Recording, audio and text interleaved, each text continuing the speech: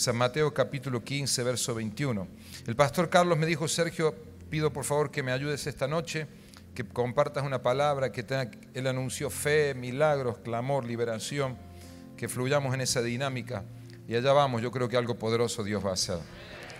Dice la Biblia, saliendo Jesús de allí se fue a la región de Tiro y de Sidón, y aquí una mujer cananea que había salido de aquella región clamaba diciendo, Señor, Hijo de David, ten misericordia de mí.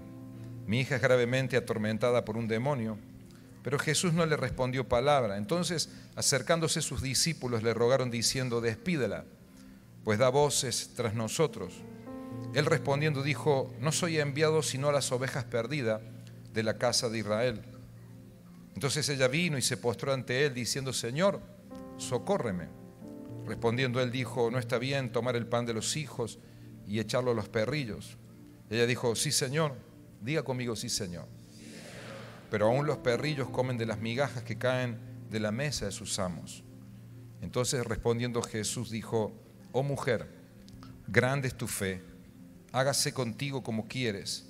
Y su hija fue sanada desde aquella hora. Su hija fue sanada desde aquella hora. El, ¿Cómo titula la Biblia este capítulo? Es la fe de la mujer cananea. Y creo que este tipo de historias tienen que ver con la enseñanza de aprender a llenarnos de fe y llenarnos de persistencia. Porque usted y yo hemos nacido para ver una atmósfera distinta en nuestra vida. Tú puedes ser protagonista de una película diferente, de una historia diferente. Si usted es del grupo de gente de los que está fastidiado con la realidad que les toca vivir, si usted es del grupo de gente que no le satisface lo que vive hoy, usted cree que hay algo mejor, si usted es del grupo de gente que dice yo necesito un cambio, una transformación, que la atmósfera que me rodea cambie, esta historia le va a inspirar porque Cananea venía de Cam, un pueblo que estaba bajo maldición, y en esta situación se encuentra la señora que acabo de mencionarle. Yo creo que los milagros de Jesús tienen un lenguaje. Creo que los milagros de Jesús hay que interpretarlo de manera textual. Si Jesús dice que libertó a la muchacha, es porque le libertó, yo creo así. Pero también siento que la Biblia nos deja, tiene un lenguaje a través de esos milagros, una enseñanza que hay que captar, capturar. Y la mujer vino a clamar por su hija, una muchacha, su hija, ella misma, la señora da el diagnóstico, ella dice, ella está gravemente atormentada por un demonio, eso dice la madre. La mujer vino a clamar por su hija y en lo personal me da toda la impresión, no tengo la menor duda, que refleja el carácter de un modelo, de una intercesora poderosa. Cuando la iglesia, la Biblia habla de mujer, yo identifico mujer con iglesia, la esposa del Cordero, y creo que nos revela, nos da la imagen de una intercesora poderosa que se había determinado a cambiar su historia. Quiero que reciba eso. Alguien que dijo, no me acostumbro a lo que vivo. Porque nunca hay cambio si uno se acostumbra a lo que vive. Me gusta a mí golpear con mis mensajes a la costumbre, porque en esto de ser pastor de gente, veo que la gente puede aceptar las cosas más humillantes por aquello de la costumbre. Veo que las personas pueden acostumbrarse a vivir cosas que lo paralizan, lo detienen, lo tornan improductivo, le roban la dignidad como ser humano, pero por aquello de la costumbre, porque así es, porque nosotros somos así, por dichos que están establecidos en la tierra, por proclamas que se han mantenido históricamente en la familia, porque acá somos así, porque yo soy así. Y usted no me va a venir a decir lo que yo tengo que hacer. Y hay cosas que están establecidas como verdades y son verdaderamente maldiciones que atentan contra el desarrollo de la gente. Gente que hoy me escucha y sabe que hay vicios que se han traspasado de generación en generación en la familia. Hay cosas que se callan en el ámbito del hogar y se aceptan como se han naturalizado, se ha naturalizado el grito, se ha naturalizado el abuso, el golpe, la trampa, el engaño. Hay dichos malditos que tenemos y bueno, ¿Qué va a hacer? Es así, es hombre, todos los hombres son iguales. Todas las mujeres son iguales. Así es la cosa. Una aventura la tiene todo. Un muerto todo tiene en el placar. Son cosas que están establecidas como verdades, pero que maldicen a la gente. La señora dijo, yo voy a cambiar la historia de la realidad que me toca vivir. Yo creo en una iglesia que clama por una sociedad atormentada por el alcohol. Creo en una iglesia con un perfil de una intercesora poderosa que actúa, que camina, que camina las calles de una ciudad, que abra las puertas de la iglesia día y noche, que se activa a través de radio, de televisión, del evangelismo personal, de los grupos de crecimiento, el afán de llevar a la gente a los encuentros, porque interpreta el rol de la hora que le toca vivir. Una sociedad atormentada por el alcohol, por la indiferencia, por la superficialidad, por la droga, por la violencia, por el descontrol sexual, por la corrupción, la inmoralidad. Quisiera invitarle que usted sea parte de esa iglesia que pelea por su generación, que pelea por sus hijos, que pelea por su gente, que pelea por su familia una iglesia comprometida con la necesidad de la gente, una iglesia con el ritual de la iglesia, con la forma, pero una iglesia que huele a calle, que huele a ser humano, pastores que huelan a seres humanos, iglesia que camine la calle. Por eso cuando usted escucha un anuncio que a muchos desprevenidos le puede tomar como una actividad más, el Congreso de Familia tiene ese enfoque, interesarnos por la familia. Oiga, tenemos una reunión exitosa un día domingo. Venga un día sábado y usted verá este lugar cubierto de jóvenes. Vaya a la calle Salto y usted va a ver vida allí. ¿Cuál es la necesidad de promover más cosas? Porque hay cosas específicas que hay que hacer. Porque hay un compromiso. Porque entendemos el rol protagónico a la hora que nos toca vivir. Porque hay que levantar una voz. Porque algo debe decirse. Porque no es correcto callar cuando uno sabe que debe hablar. Vivimos una época donde quieren que los sacerdotes se casen y que los casados se divorcien. Que los heterosexuales tengan relaciones sin compromiso, pero que los gays se casen en la iglesia. Una época en que las mujeres tengan cuerpos masculinizados y se pongan como hombres y tomen papeles masculinas. Y quieren que los hombres se conviertan en frágiles y delicados como si fueran mujeres. Un niño con solo cinco años o seis años de vida tiene derecho a decidir si será hombre o mujer por el resto de su vida, pero un menor de 18 años no puede responder por sus crímenes. No hay vacantes para los pacientes en los hospitales, pero sí está el incentivo y el patrocinio para quien quiere hacer el cambio de sexo. Hay un seguimiento psicológico gratuito para quien desea dejar la heterosexualidad y vivir la homosexualidad, pero no hay ningún apoyo en este mismo sentido para quien desea salir de la homosexualidad y vivir su heterosexualidad. Y si intentan hacerlo, si usted intenta eso, es un crimen. Estar a favor de la familia y estar a favor de la fe, eso se llama dictadura en nuestro país. Pero orinar sobre los crucifijos, rayar una iglesia, desbaratar iglesias es libertad de expresión. Señores, si este no es el fin de los tiempos, debe ser el ensayo entonces.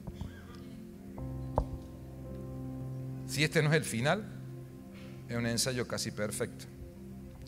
Se necesita una iglesia comprometida con la gente. Una iglesia, un perfil de iglesia intercesora.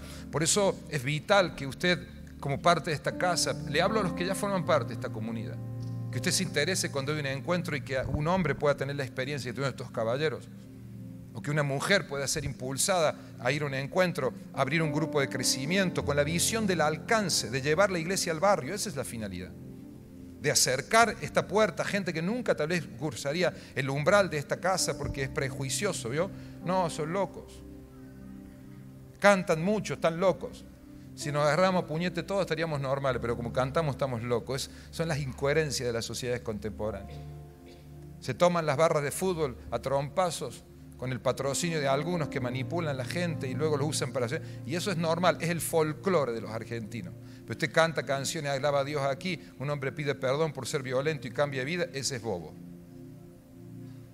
Eso es esquizofrenia social que vivimos hoy, la locura. Y yo veo una, una, señora que dice, no, no, yo tengo mi iglesia, mi, perdón, mi hija atormentada. Yo voy a orar, yo voy a pedir. Y se acerca a Jesús. Esta mujer se acerca con ánimo, con expectativa, por eso es la fe de la mujer cananea. Se acerca y empieza a gritar, Señor, mi hija es gravemente atormentada por un demonio.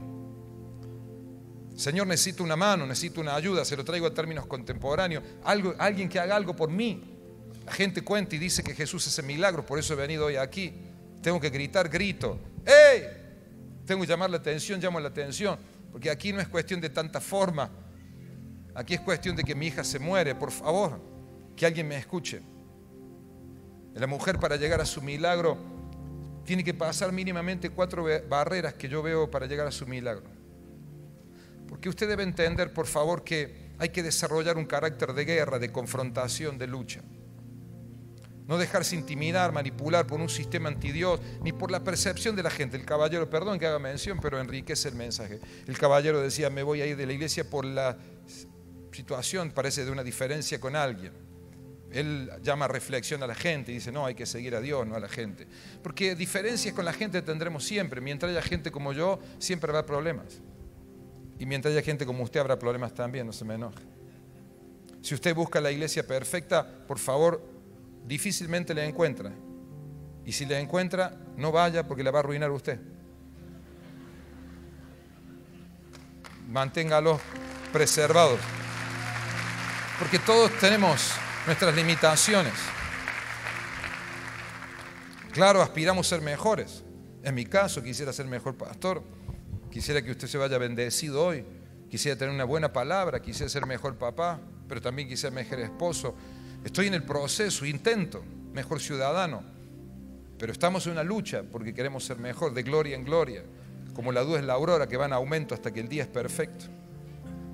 Pero la mujer llega y, lo primero que encuentro es que cuando la mujer clama, en el verso 23, Jesús no le responde palabra. Es fuerte eso. Yo como predicador a mí me cuesta predicar estos mensajes. Preferiría pasar la hojita y, y cuidar el prestigio de Jesús. Yo sé que el Señor necesita que yo cuide su prestigio, pero francamente es difícil porque ¿cómo que no le respondes palabra? Estoy diciendo a una mamá que llora por su hija. Pero Jesús no, no le responde palabra, queda como una señora insignificante. Porque no sé si usted va a coincidir conmigo, señora, y los caballeros presentes, pero la indiferencia te hace sentir insignificante. La insignificancia te hace ver pequeño, despreciable. No ser significante para alguien es muy doloroso. Se lo voy a definir así. Cuando mi voz no tiene el peso que nosotros quisiéramos. Cuando no te responden palabra. Y parece ser, parece ser que la necesidad de esta señora no tiene valor para Jesús. Mucho menos para sus discípulos. Lo vamos a descubrir juntos. La insignificancia produce dolor, produce amargura, produce rebeldía porque eso es rebeldía. La rebeldía es, acá estoy yo, y esa es la razón por la que quiebro todos los límites que me establecen. Todas las órdenes establecidas yo las rompo, aquí estoy yo, este soy yo, yo soy, rompo vidrio, daño a la gente, maldigo, cruzo todos los, límites establecidos. Venía en la costanera ayer para la iglesia en la tarde, venían dos, dos individuos. Iba a decir seres humanos, pero no sé si lo eran, honestamente sin casco en la moto, descalzo los dos, me cruzan la moto delante así, se meten entre los dos, un de esas, después uno llega a tener la desgracia de atropellarlo.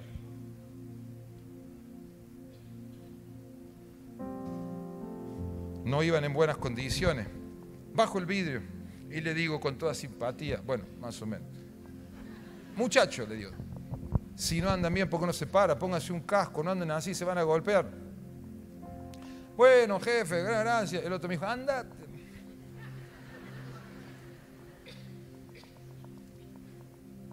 Eso soy yo, rebelde. Quiebro todos los límites establecidos. ¿Cuánta gente obra de esa manera? La indiferencia te hace ver así, sentirte así, insignificante, de no tener valor. Es fuerte cuando nuestras palabras no tienen peso, ¿sí o no? Gracias por su entusiasmo, muy amable. Yo puedo discernir la voz de mi esposa, probablemente yo voy por el centro, usted me llama y capaz que yo no le escucho y no presto mucha atención, digo. Pero si es mi esposa la que me llama, digo, sí, Señor, ¿qué necesita? ¿En qué le puedo ser útil? Cuando tu voz no tiene peso, cuando no tiene relevancia. Y ante esas actitudes mucha gente se amarga. Es más, acompáñenme por favor en este pensamiento. Hasta pueden abortar el clamor destruir el propósito. Ah, es más, pueden terminar murmurando acerca de Jesús. Porque hay gente que se acerca a la fe, pero es son murmuradores seriales, viven murmurando y murmuran y murmuran de la fe. Voy a decirte algo, levante su mano conmigo. Aunque el cielo esté callado, no significa que usted no vale. Recíbalo, aunque el cielo esté callado, no significa que usted no vale. Le voy a decir algo, significa que Dios lo está entrenando para que desarrolle una fuerte identidad en el reino de Dios. Y Dios quiere activar en tu vida capacidad de lucha, de guerra. Por eso hay mucha gente que no es promovida a un nivel mayor porque no están preparados. El Señor ve que las situaciones que vas a vivir mañana te van a aplastar y Dios que nos patrocina fracasos dice, mejor no te llevo allí. Y tú te frustras, te molestas porque dice, no me dan oportunidades, no tengo chance. El problema es que si Dios te posiciona allí, te van a aplastar.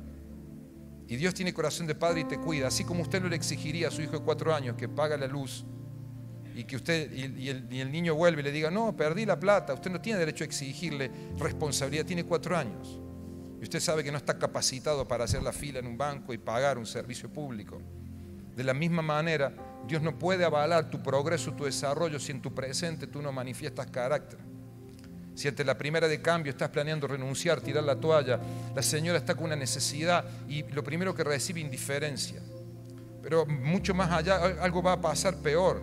Ah, voy a decir algo, esta noche vamos a quebrar la insignificancia. Esta noche es una noche de milagro, usted se va a ir sano, libre por la palabra. Vamos a quebrar la pequeñez esta noche en el nombre de Jesucristo. Quiero que lo reciba por la fe. La señora tiene que cruzar la línea del rechazo porque si la indiferencia mata o daña, el rechazo es el que mata. Usted ve un ejemplo de rechazo grupal aquí. Los discípulos, los entrenados para ministrar a la gente, le dicen, Señor, despídela. Los que se suponían eran las personas que debían cobijar a la mujer y decirle, señora, aquí estamos para servirle, diga el nombre de su hija para que oremos por ella. Los discípulos dicen, Señor, que se vaya. Hay una versión que intenté buscarla, por eso me, quité un momento la plataforma, que dice que se muera. Y eso al cordobés le suena fácil de entender, porque el cordobés dice, morite. Es muy nuestro eso. En otro lado no se escucha mucho. Yo viajo y no escucho mucho.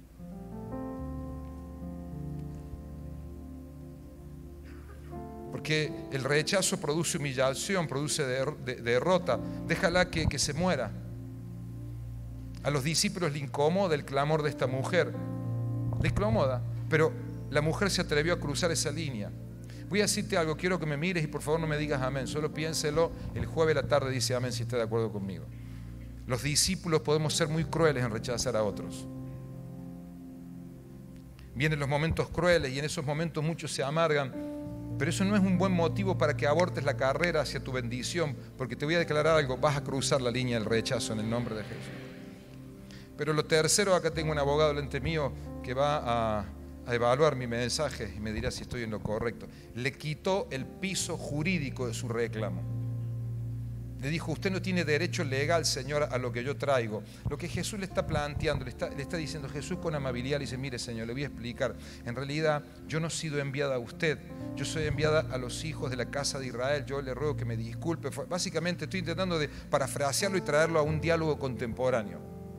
Lo que le está diciendo, usted para exigir un derecho, usted tiene que tener primero, o la, acción de un reclamo, un derecho que le asigne a usted la oportunidad que usted efectúe un reclamo. Lo que Jesús básicamente para evitar más problemas le quita el piso jurídico de su reclamo. Y le dice, señora, le voy a decir algo, entiéndalo por favor, usted no tiene derecho legal a lo que yo traigo. Es muy fuerte. Jesús le está diciendo, eres un ilegal. Y los ilegales son humillados, usted lo sabe. Yo tengo hermanos en la fe que viven en países y donde no, hay, no tienen documentación y se les llama de esta manera crudamente ilegales y tienen que soportar abusos, trabajan la misma hora que otros pero le pagan menos. Tienen que soportar ser pisoteados, ¿verdad? Porque no, no tienen un respaldo legal. Y Jesús le dice, usted es un ilegal y los ilegales son humillados, no tienen derechos. Jesús le dice, no tienes legitimidad. Y le voy a decir algo más fuerte, no se escandalice, porque usted si me conoce sabe que soy respetuoso y amo al Señor, pero quiero que usted lo entienda así, quiero serle francamente honesto y hablarle en términos que, que se entienda en la calle. Jesús le dice, mire señora, con todo respeto, pero mi prioridad no es usted. fuertes. Yo le voy a preguntar algo a usted y me lo pregunto a mí. La mujer dice, Señor, socórreme. ¿Cuántos de los que estamos aquí permaneceríamos en el reino de Dios después de una situación así? Voy a declararte algo. Levánteme su mano, por favor, y reciba lo que voy a decirle hoy. Tú y yo no somos ilegales en el reino de Dios. Una vez más, tú y yo no somos ilegales en el reino de Dios. La sangre de Cristo nos da derecho y la Biblia declara algo, que ya no somos esclavos, somos hijos. Gálatas 4:7 dice lo siguiente, que ya no eres esclavo, sino hijo. Y si hijo, también heredero de Dios por medio de Cristo. Ve, ese es su problema, la falta de entusiasmo. O yo no soy claro y no estoy predicando muy bien, lo cual me avergüenza, o usted tiene los oídos taponados y no entiende nada de lo que estoy diciendo. Acá hay un problema. Le estoy diciendo que usted es hijo, que usted ya no es esclavo y los hijos tienen herencia. Oiga, usted vino a la iglesia, espere, gracias por su amabilidad y su... Usted vino a la iglesia, se pegó una ducha solamente para venir, se arregló, tomó unos mates, se arregló. ¿Qué hora habrá sido eso? ¿Las seis, cinco y media y media de tarde más o menos? ¿Sí? Tomó el colectivo, si tiene auto vino, pasó a buscar a alguien. ¿Así fue más o menos? ¿Sí? Más o menos. ¿Qué se iba a imaginar? Que a las nueve menos cuarto de la noche se iba a encontrar con una herencia. Yo en su lugar estaría feliz, me tiraría los zapatos para arriba. Esta mañana cuando se levantó, usted no imaginaba que el día terminaba así, con una herencia. Póngame cara de herencia grande. Bien, bien. Primera vez que lo hace tan bien, muy bien, lo felicito. Ponga cara de herencia grande, ponga. Oiga, usted tiene el respaldo de los cielos. Ya no somos esclavos, sino hijos. Por medio del sacrificio de Cristo, todas las promesas que están contenidas en esta palabra son para usted. Eso amerita alguna sonrisa, una expresión de algo por lo menos. Hay herencia para usted. Hay promesas que están sobre su vida están sobre sus lomos. Usted lleva sobre usted un destino de bendición. El cielo se le viene encima suyo cuando un hombre le cree a Dios. El cielo se viene encima de la gente que pone la fe en Dios.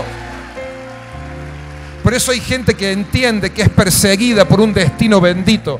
Lo que usted emprende es bendecido. Lo que pisa la planta de tus pies es bendecido. Usted tiene presiones, tiene lucha como todos los mortales, pero usted ve que avanza, que triunfa, cae mil de un lado, diez mil de otro lado, pero bueno, te toca, Dios está contigo.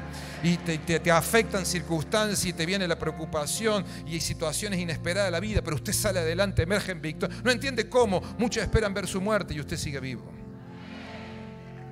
Es que la herencia de Dios está sobre usted, los cielos están abiertos sobre su vida. Y la, la señora tiene que cruzar la línea del desprecio religioso. Esto es fuerte. Los judíos cuando se referían a perro, lo hacían para referirse a los gentiles, a los que no eran de su linaje, y allí ellos revelaban todo su desprecio. Porque, perdónenme hermanos, pero vamos a pasarlo rapidito esta parte del mensaje porque nos pone incómoda todo, en principio a mí.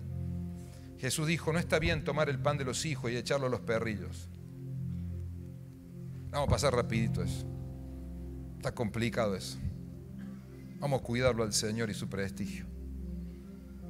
Pero así entre nosotros, que nadie nos escuche, entre nosotros, despacito, que no se ve en internet, que te digan perro está complicado. No es directamente, pero si usted por lo asocia, no está bien tomar el pan de los hijos y echárselo a los perrillos. Está como fuerte, ¿no? Yo le pregunto a usted, antes que usted se me enoje y se vaya a la iglesia preocupado por el mensaje, antes que se vaya, cierren la puerta que nadie se vaya. ¿Cuántos seguiríamos en el reino de Dios después de una cosa como esta? Hoy la gente se enoja, acá no, usted no, porque es una gente extraordinaria, pero unos que no vinieron hoy se enojan por cualquier bobera. Si usted tiene la desgracia de no haberlo visto en el pasillo de la iglesia y no lo saluda, hay que llevarlo a un seminario de sanidad interior porque no lo saludaron. Seis meses de sanidad interior. Si usted tiene la desgracia de estar cantando una canción y por accidente levanta la mano y le raspa la oreja, ya tiene una demanda por daños y perjuicios. Y lo acusa al pastor que usted es una persona. ¿Usted se ríe? Yo estoy exagerando un poco, claro está. Si usted tiene la desgracia de sentarse en el lugar incorrecto en la iglesia porque esa silla ya pertenecía a alguien y usted llegó más temprano a la oración temprana y se te para al frente y dice, mi silla. Que saque los papeles que la compró, pero no las tiene los papeles. Usted ve cada cosa en el... Yo digo, Dios mío. Claro, por eso la ausencia de portentos, por eso la ausencia de milagros. Es tanto el grado de inmadurez, que no es su caso, gracias a Dios, de otra gente que va a otra iglesia por allá lejos de acá, que se va por cualquier cosa. Pero fíjese la actitud de la mujer. La, la señora procesa todo el diálogo, lo escucha, y la señora dice a todo lo que se está diciendo, verso 27, que usted lo repitió conmigo, dijo, sí, Señor. Grite eso conmigo a la cuenta de tres, pero póngale actuación, por favor. Uno, dos, tres. Sí, Señor. Muchas gracias.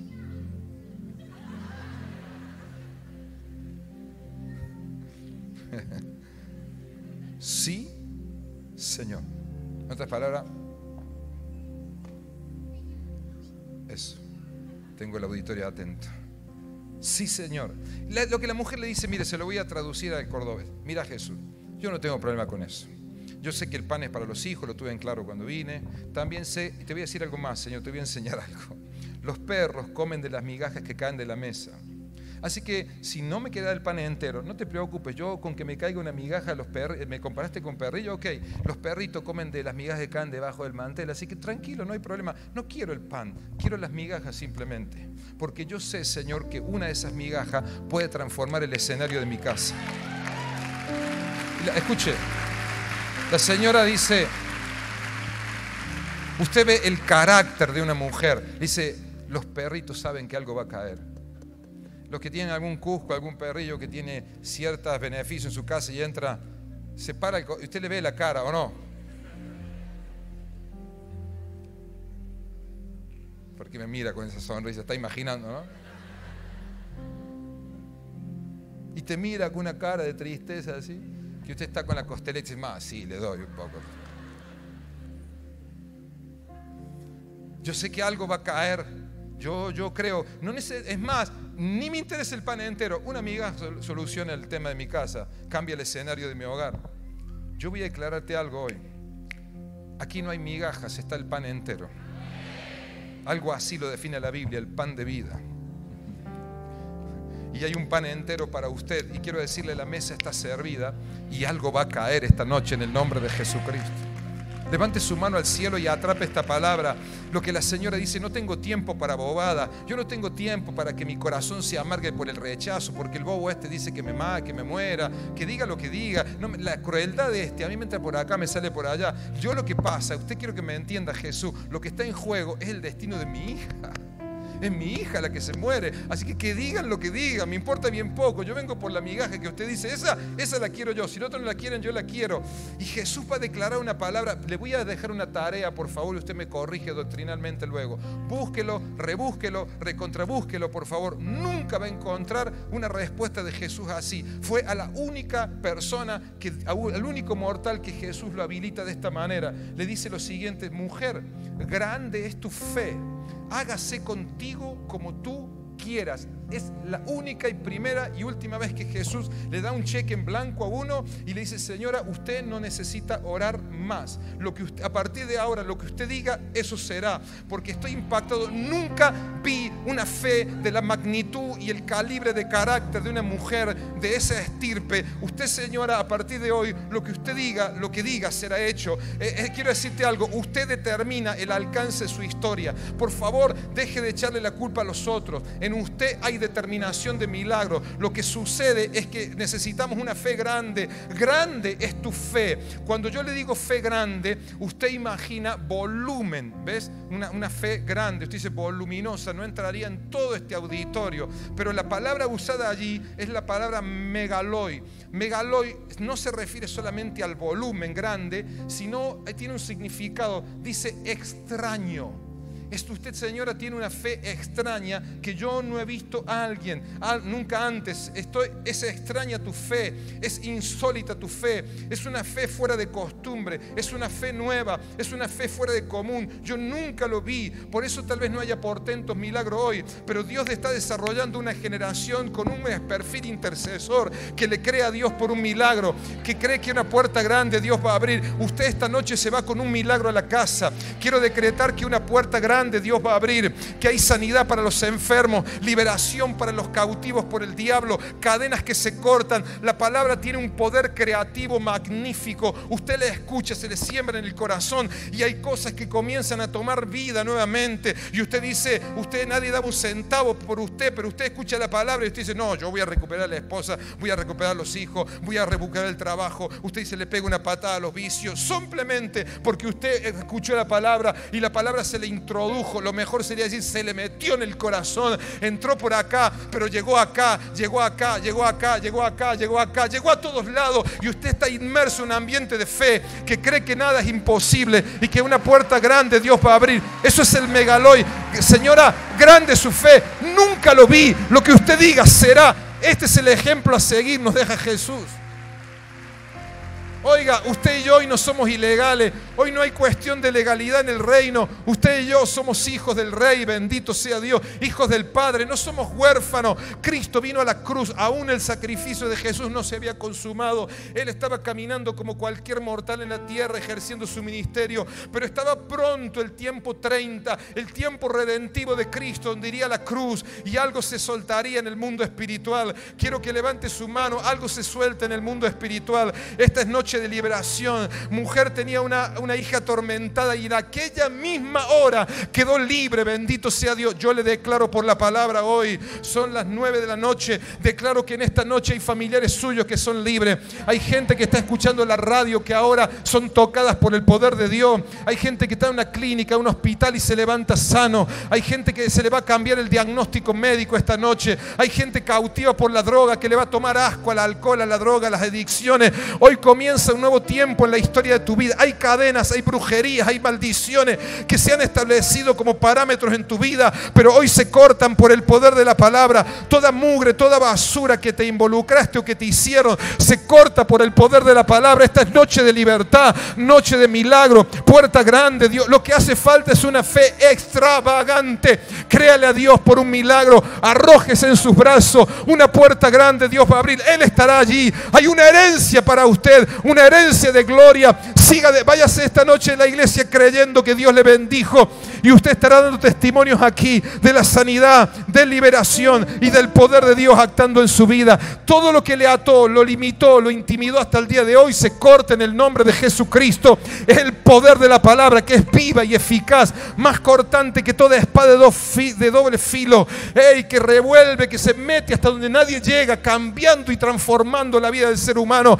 Dele un aplauso, Dios de la gloria. Crea lo que predicamos, que algo poderoso Dios hará hoy. ¡Ey! Aplauda al Señor. Venga el equipo de oración.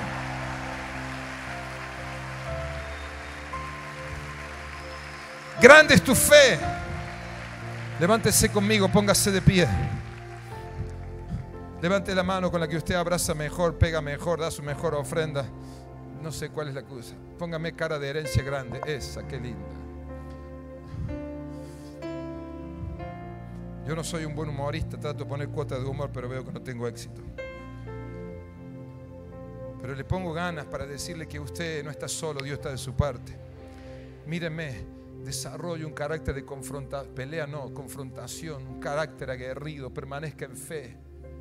Y usted, mire, yo no sé, los caballeros que están aquí capaz que me entienden, las señoras también. Algo me ha pasado a mí en la vida, cosas que nunca pude entender muy bien. Sabe, tengo una ventaja, me crié acá adentro y he conocido tantas cosas. Nunca olvidaré un, un muchacho de nuestro barrio, lo he vuelto a ver varias veces. Tenía un nombre, un, seudónimo, un apodo, pero no lo puedo decir acá. Y él era más grande físicamente que nosotros. Bueno, de edad también, pero poquito, dos o tres años más. Pasa que cuando uno tiene 13, el 16 te parece enorme. Y él, no sé, era bueno, era bueno, era bueno. Lo único que era grandote y era así de pocas pulgas. Te daba un castañazo rápido, un Pero él, nos juntamos acá en una placita que había en Alta Córdoba y él siempre tenía como una, una imagen protectora de nosotros. Eh, éramos como 6, 7, 8 ahí en la barra. 6, 7, 8, ya le clavé 6, 7, 8. Y recuerdo un día, fuimos a ver al club que seguíamos siempre, los mismos de la misma barrita. Y tuvimos un problema una vez, no nosotros, sino quedamos inmersos dentro de una situación. Y hubo una confrontación, esas vandalidades así de las barras. Por fin fuimos a un lugar y quedamos encerrados en una tribuna y, había una puerta ahí. Y la verdad que estábamos complicados, no éramos más de 20 o 30, venían como 100 de aquel lado. Para cómo había unos individuos que se habían sacado los cintos y venían revolviendo. Digo, digo, cuando nos agarran estos tipos. Yo recuerdo que él se paró delante de todos nosotros, ya más grande en esa época, y nos dijo, corran. Y el tipo se quedó solo. Yo no sé qué cosa hizo. Nosotros corrimos, corrimos, corrimos. Nos fuimos hasta la plaza y Rivadavia en Alta Corda y terminamos ahí. Y lo dejamos el valiente nosotros. Bueno, perdón, éramos obedientes, él dijo, corran. Y nos cubrió, nosotros teníamos, hablando de 15 años, Y quedamos preocupados por él. Recuerdo compramos una Coca-Cola, nos sentamos ahí, orando por él. Y como a la media hora, llegó sano y salvo el loco. Y después nos comentó los pormenores de lo que había ocurrido. Claro, era nuestro héroe. Era nuestro héroe. Quiso las vueltas a la vida que conoce a Cristo. Se entera que yo era un líder juvenil, después pastor. Bueno, eh, era de un barrio bien alejado del centro de la ciudad, se congregaba en una comunidad, un pastor amigo mío, que después partió con el Señor. Y iba allí. Y un hombre aguerrido, creció, eh, policía de oficio. Y cuando después que fue policía, así que lo encontré varias veces en la calle y siempre me, trataba con mucho cariño a mí, con mucho respeto. Siempre, siempre como yo. Lo encontré hace como 10, 12 años y, le digo, ¿cómo estás? ¿Cómo anda tu fe? ¿Cómo anda la iglesia? Mal, dice mal, porque no me estoy congregando. Eh, le digo, ¿por qué? No, porque una gente habló mal de mí. Yo le dije, vuelve a decir eso, por favor. No, que hablaron mal de mí. Y yo que lo conocía este. Yo lo había visto en el mundo natural comportarse. No podía creer que la intimidación de una persona que ni sé quién era y que él tampoco sabía, que le habían dicho que le dijeron que le diga, que no sé qué cosa había hecho él y no había hecho, y no quería venir más. Digo, qué locura, así el ser humano es. El poder de la palabra, la, la persuasión espiritual, los ataques que el diablo... ¿Por qué puse este ejemplo, pastor? Porque se me ocurrió, porque digo, nunca se caracterizó por ser débil ese caballero. Pero era una piltrafa el día que yo lo vi. Ah, que, que dijeron de mí. Yo que lo conocí en otra faceta, me impresionó. Y le recordé eso. ¿Te acuerdas cuando nos cuidaba vos? No, eso, eso. ¿Te acuerdas que todos te seguíamos a vos? Oh, pastor, me dice, no me digas eso. Pero si vos no habrás salvado cada una. Era el héroe nuestro. ¿Cómo te va a caer ahora por lo que dijeron? Sí, tenés razón, pastor. Oiga, recupere su capacidad de lucha. ¿Qué anda haciendo abatido por los comentarios, por lo que dicen? Que digan. Que digan. Procure que digan mintiendo.